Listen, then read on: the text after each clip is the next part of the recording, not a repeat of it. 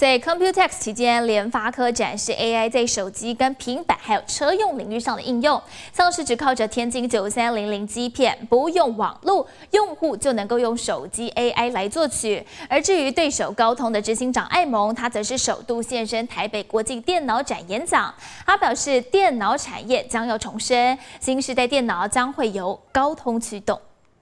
即便只想得到哆瑞咪，依旧能靠着手机的 CPU 成为作曲家。不光如此，Computex 期间，联发科展出 AI 在各领域应用，像是透过 LoRa 技术，用户能打造出个人专属的 Avatar；而 AI 服务平台达哥则强调语言模型可以带来更自然的语音互动，化身智能管家。而智慧座舱当然也不能少，用户能够借由 AI 安排行程，后座的娱乐体验，用户能够多赢使用，甚至要对打游戏也没问题。至于竞争对手高通执行长艾蒙，则在三号首度现身台北国际电脑展举办演讲。It's a new era for the PC,